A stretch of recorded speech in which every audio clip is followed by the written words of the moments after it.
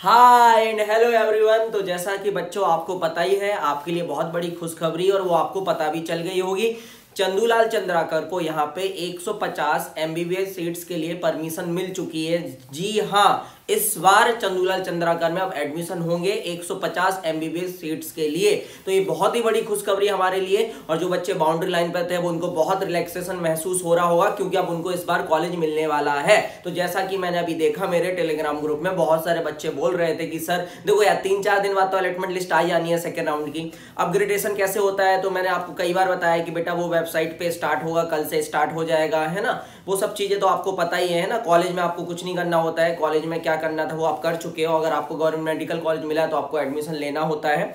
और बाकी कॉलेज में आप स्कूटी से भी काम चला सकते हैं, अगर आप चाहते हैं एडमिशन नहीं लेना तो ये सब बातें तो आपको पता है, ठीक है? अच्छा तो अपग्रेडेशन ऑनलाइन होता है, ऑनलाइन होता है। कल से स्टार्ट होगा, है ना? सीजीडीएमई की वेबसाइट पर होगा, ठीक है? आप लॉग करेंगे, आपके पास यूज़र आईडी और पासवर्ड होगा, आप लॉग करेंगे, वहाँ पर फिर से चॉइस फिलिंग आप वहाँ पर करेंगे। और आप, अब वही कॉलेज डालेंगे जिसमें आप अपग्रेड कराना चाहते हैं। अब आपको सभी कॉलेज डालने की आवश्यकता नहीं है। आप सिर्फ़ उन कॉलेज को डालें जिसमें आप अपग्रेडेशन कराना चाहते हैं। और अगर आप नहीं कराना चाहते अपग्रेडेशन तो आपको कुछ भी करने की आवश्यकता नहीं है। ठीक है तो मैं कट ऑफ़ बताने वाला हूँ कि सेकेंड राउंड के बाद क्या जाएगा, है ना? और ये भी हो सकता है कि ओपन राउंड के बाद भी यही जाए। वहाँ पर ज़्यादा सीट्स तो खाली होती नहीं है गवर्नमेंट मेडिकल कॉलेज में। तो बहुत ही अच्छी बात है, एक सीट्स मतलब आप समझ रहे हैं ना कि कोरबा और महासमुंद में तो कितना कितना आया था? सौ और सौ आया था दो कॉलेज खुलने से। जितना फ़ायदा हुआ था, उससे कम हुआ है। लेकिन हाँ वहाँ 200 आया था, लेकिन यहाँ डेढ़ है लेकिन ये कॉलेज हमारा डेढ़ गुना है महासमुंद का, या फिर अपन कहें तो कोरबा का, ठीक है? क्योंकि यहाँ पे 150 सीट्स आई है। तो उसमें से 22 सीट्स तो ऑल इंडिया में चली जाएँगी, है ना? उसके बाद बची हुई सीट्स जो है एक उसमें हमारे स्टेट को मिलेंगे। उसमें भी अब अलग अलग कैटेगरी का अलग अलग रिजर्वेशन होता है। वो सब मुझे नहीं बताना है। मैं आपको बता रहा हूँ कि यहाँ पे कट ऑफ़ क्या जाने वाला है। तो अनरिजर्व के लिए, या यू कैन कहें यू कैन से कि जो जनरल वाले बच्चों के लिए यहाँ पे जाने वाला है तो जिसकी रैंक यू आर सात सौ 715 तक है। और मार्क्स कितने आएँगे 715 में? ये मार्क्स आ रहे हैं 523 तो 523 मार्क्स या आप कह सकते हैं यू आर रैंक 715 से कम है जिसकी तो उसको इस बार कॉलेज मिल रहा है। मतलब मिल जाएगा, यहाँ पे ज़्यादा डिफरेंस नहीं आएगा दो चार रैंक का ही आएगा। अगर हम बात करें ओबीसी की तो ओबीसी में अगर हम बात करें तो ओबीसी रैंक जिसकी 300 है। उसको कॉलेज मिल जाएगा गवर्नमेंट मेडिकल कॉलेज मतलब मार्क्स कितने हैं इस पर? 519 के आसपास. ठीक है?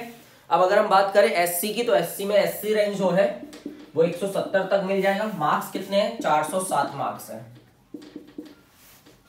और अगर हम एसटी की बात करें तो इस बार एसटी को अब 210 रैंक तक मिल जाएगा. पहले मैंने बताया था कि 180 रैंक तक मिलेगा, अब मैंने बताया कि 210 रैंक तक मिल जाएगा, ठीक है? और एससी को मैंने पहले बताया था कि 150 रैंक तक मिलेगा, लेकिन अब 170 रैंक तक मिल जाएगा, ठीक है? और यहाँ पे मार्क्स जो जाएगा वो 320 मार्क्स जाएँगे, ठीक है? तो बहुत ही अच्छी न्यूज़ है हमारे लिए। और ये अब हमारे कट ऑफ़ जाएँगे। तीन से चार दिन बाद सेकेंड राउंड का अलॉटमेंट लिस्ट आ जाएगा। आप वहाँ पे देख सकते हैं कि थोड़ा बहुत एक दो रैंक ऊपर नीचे होगा, बाकी यही जाएगा। अब रही बात ईडब्ल्यू सीट्स की, कि महासमुंद और कोरबा में आई कि नहीं आई तो अभी तक किसी को कोई इन्फॉर्मेशन नहीं है, आई कि नहीं आई, वो कल से ही पता चलेगा। कल से क्या पता चलेगा? मतलब वो तो अलॉटमेंट आने पर ही पता चलेगा। वैसा लगता है सीजीडीएम हमको पहले से तो कुछ बताने वाला है नहीं है। ठीक है? अच्छा चंदूलाल चंद्राकर में ईडब्ल्यू सीट्स आएँगी कि नहीं आएँगी तो मुझे नहीं लगता कि आएँगी इसमें, क्योंकि साफ़ साफ़ 150 सीट्स के लिए इसको परमिशन मिली है तो अब इतना जल्दी सब कुछ होने वाला नहीं है, क्योंकि आपको पता है कि चार या पाँच दिन बाद हमारी सेकेंड राउंड भी खत्म हो जाएगा, ठीक है? तो यही सब इन्फॉर्मेशन मुझे इस वीडियो के माध्यम से देनी थी। मिलते हैं कभी किसी और दिन, किसी नए वीडियो के साथ। जब तक आप अपना ख्याल रखिए, चलिए टाटा बाय बाय